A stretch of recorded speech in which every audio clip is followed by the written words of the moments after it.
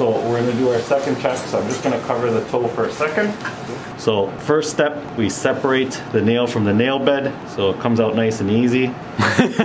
Not feeling a thing, right?